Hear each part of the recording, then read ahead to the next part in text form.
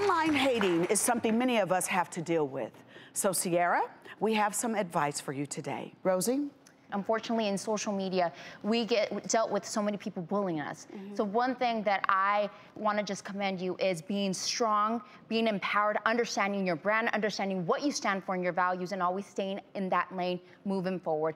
Keep doing that with that sense of light and direction and sense of love and keep empowering those women because you know what? That's what we need in this society. We need more love and more empowerment. Absolutely.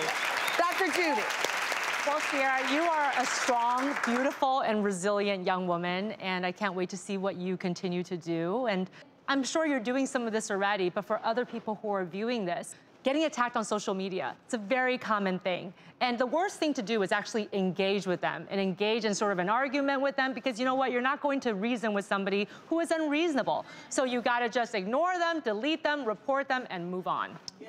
Areva. Agreed. So, Sierra, as a lawyer, I want people to know that cyberbullying is real. And if you believe you've been cyberbullied, you can actually contact your local law enforcement and you can file a complaint against someone, a criminal complaint. You can also file a civil complaint if you've been the subject of cyberbullying. So never stop standing up for yourself. Keep on making those videos, keep populating them. I hope the next one gets 6 million views and that yes. you just keep blowing up, girl. Thank you so much. Judge Mary. Um, I am so proud that you stood up to him yeah. and you sat him right down because he didn't know what to say. and you keep doing that for the rest of your life because you're going to go a long way with that attitude. Don't let anyone ever walk over you. Thank you.